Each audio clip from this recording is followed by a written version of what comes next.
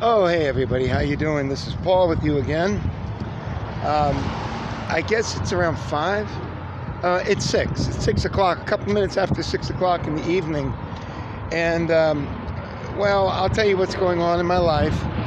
Um, you know, uh, I don't know if any of you remember. This is just going to be kind of a talk about here, because um, this is just going to be all about me, me, me, me, me. Okay, just to let you know.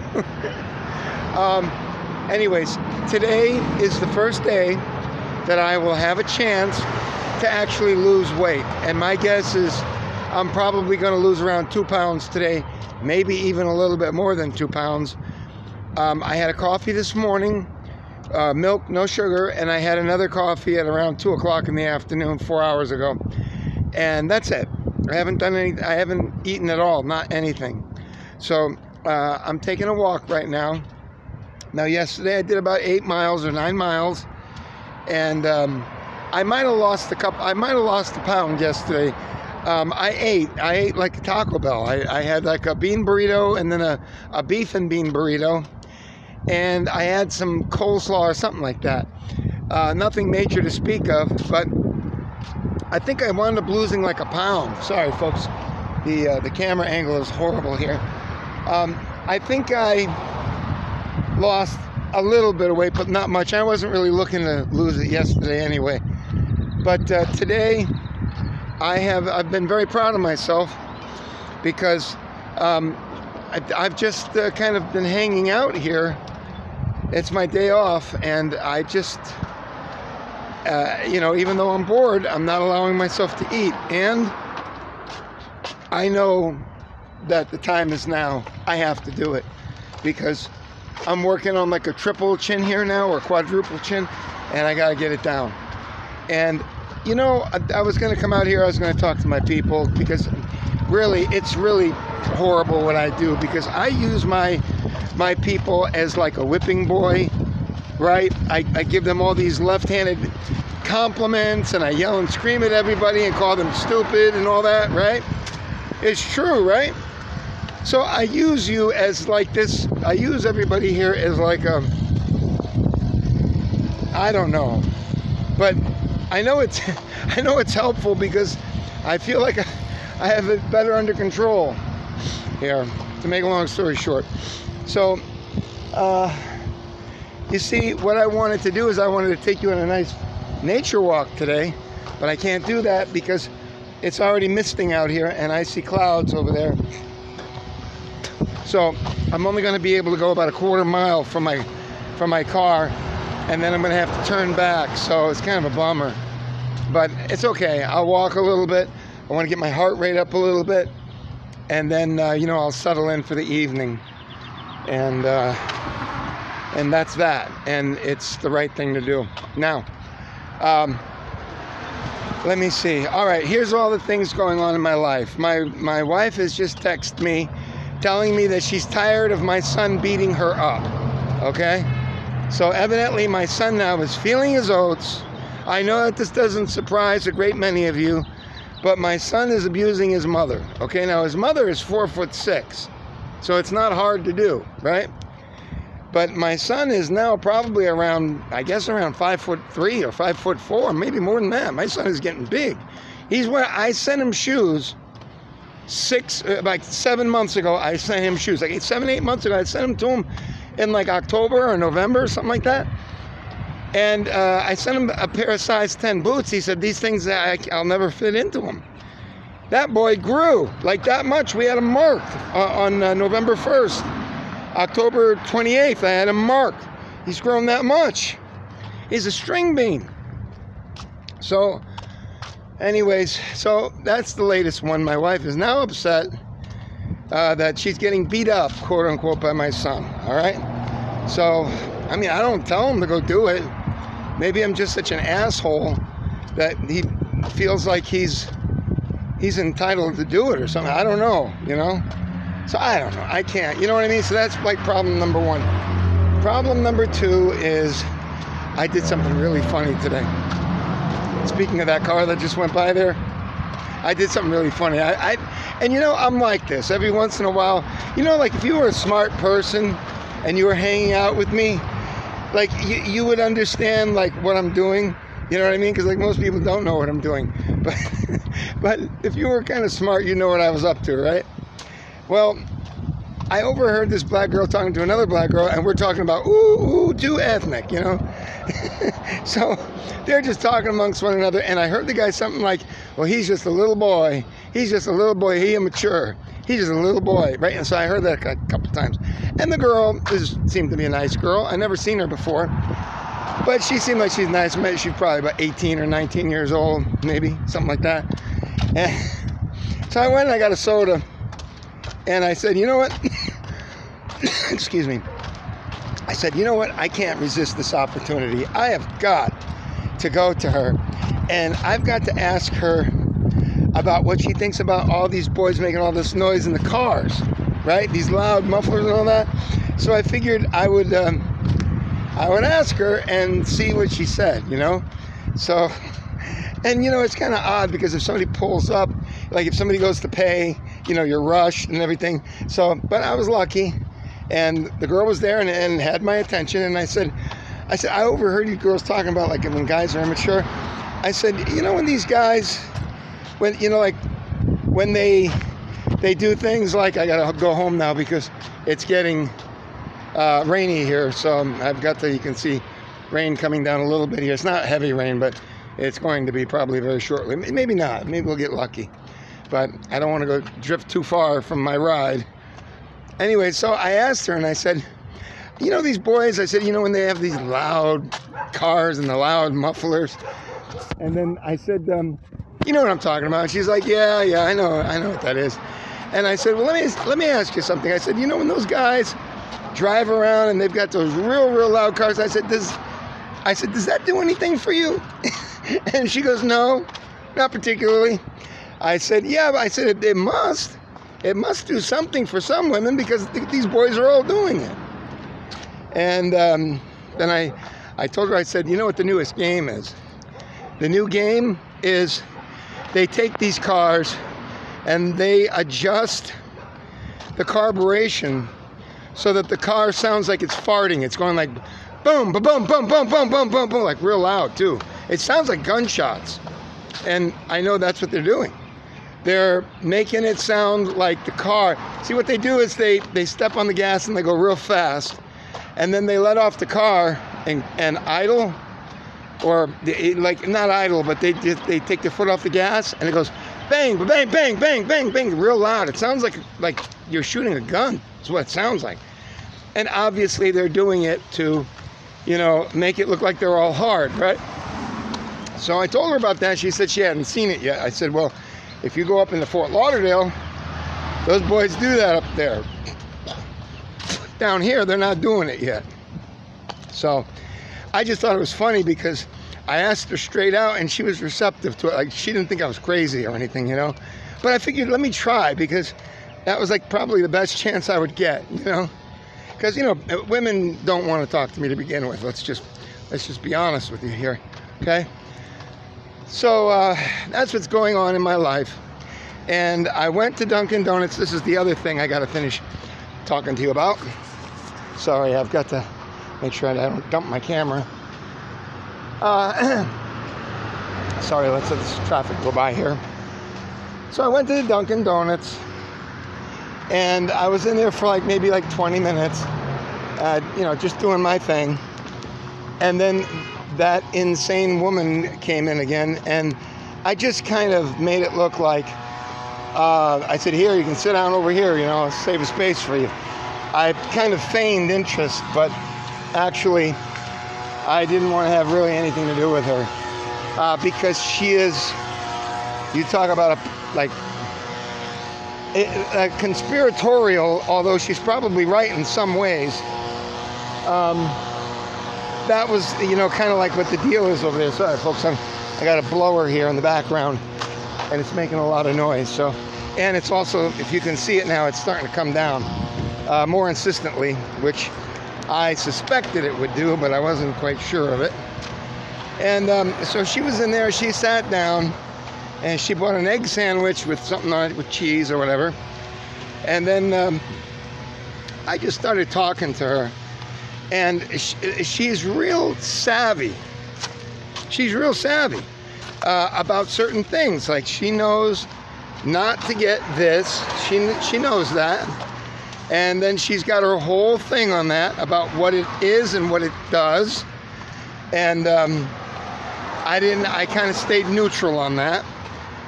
And you know, then she recommended some food and um, baby, eat baby food if you want to lose weight, which is probably true, but I'm just not going to do it. I'm not going to buy baby food. When I eat, I want to eat. I want to eat pizza. I want meatball submarine with lots on it and stuff like that, you know? I don't want to eat baby food or a little amount of uh, salad on a a little amount of chicken salad on a on a, a salad. I'm not interested. I want to eat something. And yeah, I'm hungry, but uh, uh, that's what I was going to tell you. And I'll get back to this in a minute.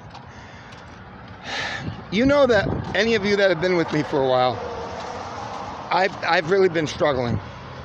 I have made what I consider to be a real serious effort to try to lose weight. And to do that, the simple truth is, and they'll get all these geniuses that'll tell you something different, you have to stop eating. If you don't stop eating, you have to eat a small amount of food and the right kind of food, but even the wrong kind of food. If you don't eat enough, my hand to the sky, you will lose weight. And if you don't believe me, you can talk to the people in World War II who were kept in camps. You can talk to the people who built the bridge in the River Kwai in Thailand, who picked rock all day and got a cup of rice at the end of the day, and they lasted six, seven weeks and they were dead on average. As a matter of fact, was probably a little bit less than that, three and a half weeks. They didn't feed them. They had plenty of free labor and they worked them to death. So uh, I know that what I have to do. Now, I've known that I've had to do this for a long time and I've not been able to do it. And I'll tell you what I've managed to come up with. And uh, I'll tell you here, I'm going to go over here and get away from the traffic. And uh, I prefer to be less of a target than being under these trees here because after all, we are in the lightning capital of the world here, South Florida. So I'm going to go underneath here and then I'll continue on. And I'll tell you what I thought. This is just more or less uh, my thoughts on things today and nothing to do politically, really. Kind of, but not really.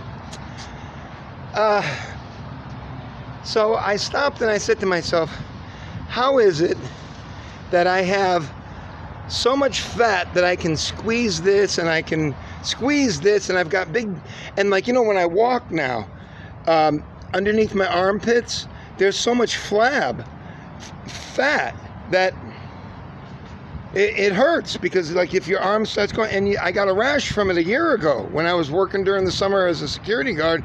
A fucking sentence. I was serving a sentence over that fucking place.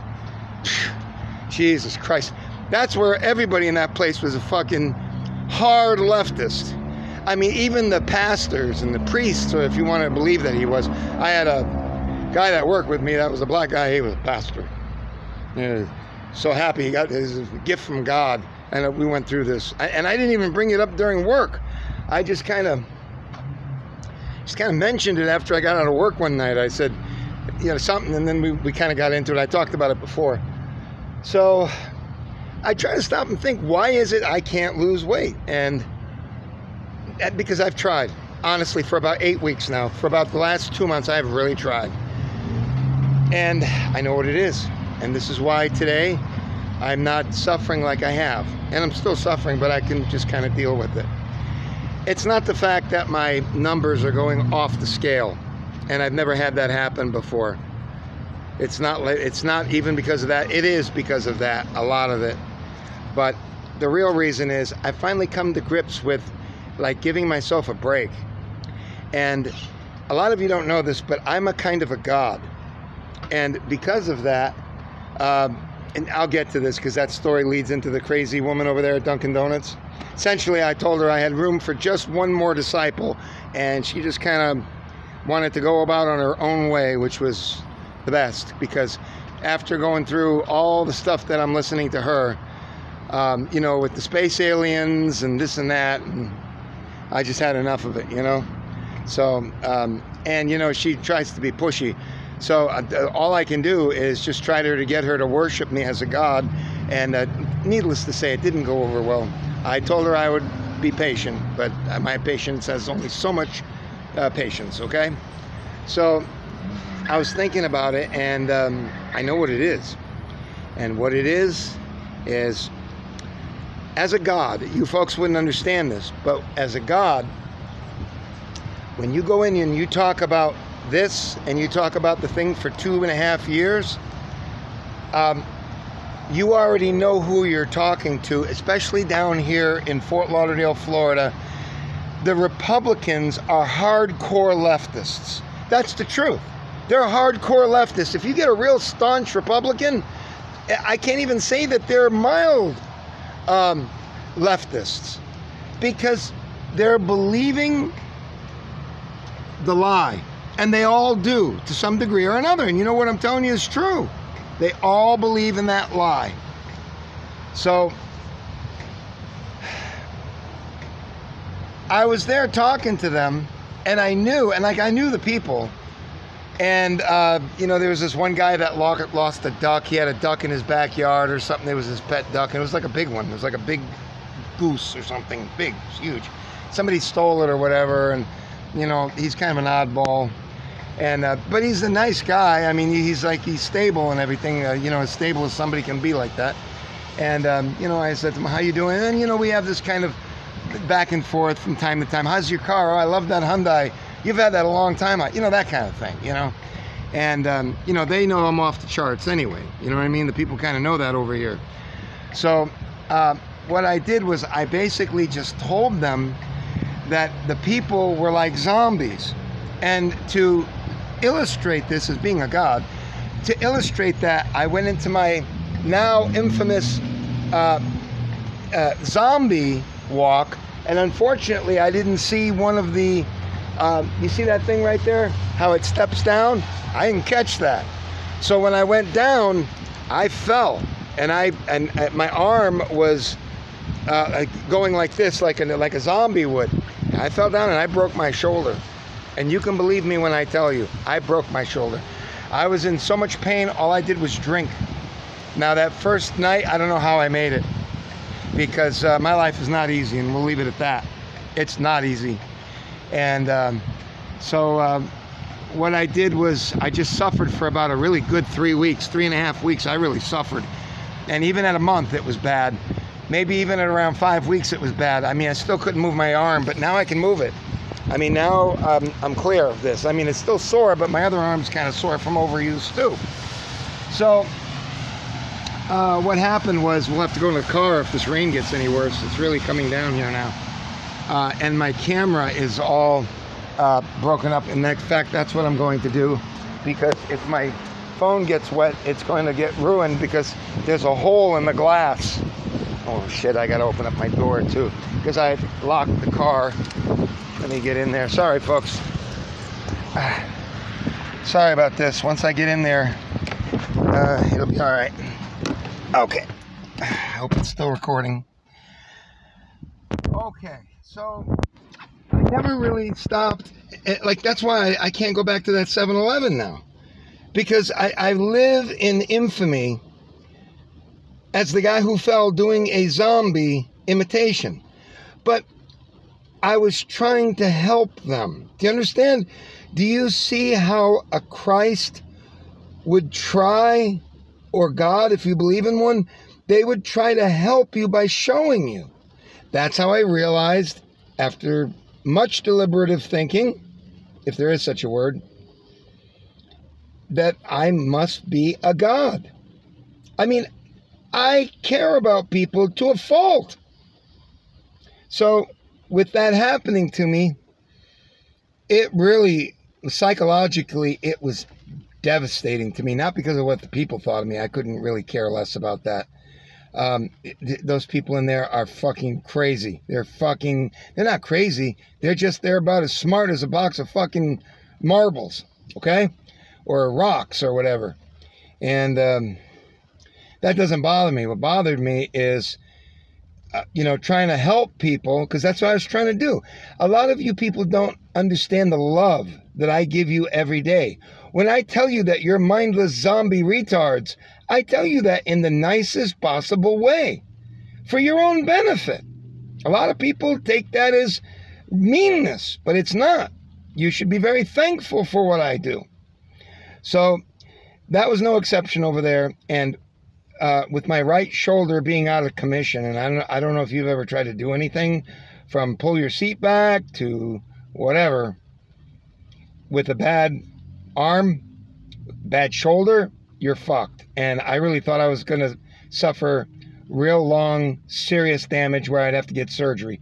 But like I told you, it's okay now. A little, little stiff, a little pain, but not much, and it's not anything to speak of. So I'm very, very happy about that. Um, and that's been okay now for about the last month, for about a month now. So I think I did that around three months ago. I think I did it in like around March, April, May, June. So somewhere around there. And um, what happened was when that happened to me, I shut down. The first night I bought a 750 of 12 Oaks wine or whatever it was, the, the one that's got 12, 12.5% alcohol. And I mean, it was lights out for me. I mean, it was lights out. I mean, when I got up, I couldn't even move out of my, I, I was working. I couldn't even move.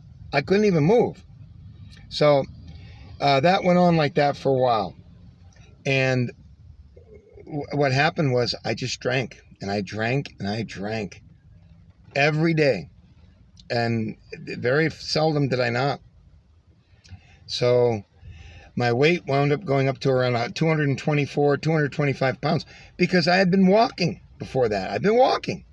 You know, uh, you know, I had some problems where I went to the hospital. You know, when the, um, you know what was supposed to be so bad for the last two and a half years, I went five times to get a, to, to get the medicine correct because they, they gave me some kind of funny uh, prescription. I had to go see the doctor. It took five trips. Do you think I saw anybody in that emergency room? No, but when you went on the television, it was overstuffed with people. In reality, it wasn't. But we, we won't get into that, okay? We won't get into that. That doesn't prove anything. Um, but, anyways, so I've stopped and I've thought of this right now. And I mean, I was walking like every hour I walked, like just even a quarter of a mile. I did. I, I mean, but it was cooler then too. You know what I mean? Like it wasn't 90 degrees and humid. It was, you know, cool. So I was walking and doing like eight miles. Sometimes I do 10 miles. So I wasn't losing weight, but I wasn't gaining any. And I had come down. My weight was like uh, 224, and then it came down with all that walking and stuff. And I was behaving myself, and then I and then I damaged my shoulder. So with that now coming back into my conscience, my conscience, conscience, forward conscious, whatever, I realize that I, I don't know how I did it, but that just kind of set me free. So now, am I hungry? Yeah. But I know what has to be done. I've got to lose weight. And that's as simple as it can be. I'm not going to have this quadruple chin. Not for too much longer. And boy, it feels so good when you don't eat. And I mean, it doesn't feel good, but like when you put your pants on the next day and you can tell that it's just a little bit easier to put them in on, uh, uh, on from your fat gut there, it really makes you say, hey, you know what? I'm glad I really didn't indulge yesterday. I'm glad about that. I'm glad I did that. And you know what? It was every time I go around Publix, I could get a sandwich or whatever, but it's not happening like that now. I mean, I still get hungry. I still want to eat, but I can do this. And I don't give a shit what comes at me now because along with that, um, you know, my numbers went up for all sorts of things and it ain't good. And it's nothing I have to go to the hospital for to figure out. Okay. It was very clear, spelled out to me very clearly. So, um, no choice now. I really do have to do it. And, um, a, a big part of the reason was that um, I think I had this mental block with not really knowing why I can't do it. And I figured it out this morning. I figured out that right up until about a month and a half ago, I was in a lot of pain every day, and I couldn't, I could barely move my my right arm, which is my good arm. So, with that, I've kind of cut myself a break, and I kind of let go of the guilt. I know that sounds really weird, but uh, I'm not mad at myself anymore for not being able to do it. I couldn't do it. I couldn't live the kind of life that I live, working the kind of hours that I do, and then uh, find time to work out the perfect uh, diet and exercise routine. You got to give yourself a break. And um, I can live with myself now. So I've had two cups of coffee today, one in the morning at six o'clock and one at two o'clock or 1.30 in the afternoon, and that's it. I'm not going to eat anymore. Tomorrow I won't eat. And Saturday, I may eat toward the end of Saturday, maybe Saturday night. It's probably what I will do. And then I'll eat Sunday too. And um, we'll have to start this off next week in similar fashion. But um, I also want to walk every day because that's crucial. It's crucial. Now I can't do it because it rained, but uh, I did a little bit, and that will get my heart going a little bit faster. But uh, Fat Paul here, um, Fat Tub of Shit Paul here, ain't going to be around for too much longer, one way or another. I'll either die of a stroke or high blood pressure, or I'm going to get my weight down, and I don't want to hear about it. Okay, folks, I already know where you're going with this oh, uh, just because you lose weight doesn't mean your blood pressure will come down. Bullshit. You go out and you walk. And you walk consistently and don't overdo it. And I'm telling you, it ain't coincidence when you see that your numbers start coming down. And I believe that. And stay away from the real bad food and take it easy. And you know what? You probably do okay. That's not a guarantee, but I'll bet you it's not coincidence. You see about this. You see how people change their diets and they go vegetarian, and you know they were plagued with high blood pressure and um, uh, you know stroke danger and all the rest of this stuff, sugar diabetes and all that, and it just starts to let off. Now some of it is age. I understand. So um, that's about it, and uh, that's uh, my life in a nutshell right now. I don't know if I'll do any more. I do want to take you to a video I showed my son and my son made his rites of passage.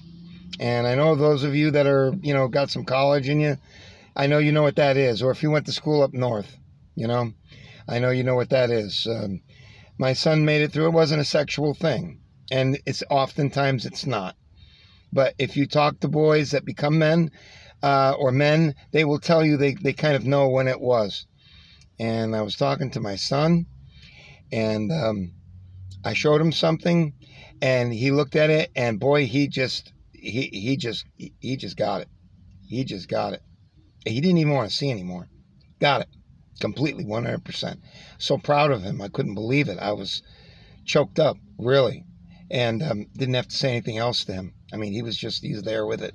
Anyways folks take care. I know this is a little long-winded but um, there's so much more to paul than you know okay nothing too terribly exciting either but I wound up getting rid of that girl today because I told her I had room for one more disciple. I just had just barely enough room for her to be a disciple, and uh, uh, she no longer is interested in having her egg sandwich with me over there at Dunkin' Donuts. Take care, folks. Love you guys, even though I know I'm an asshole. Take care, and I'll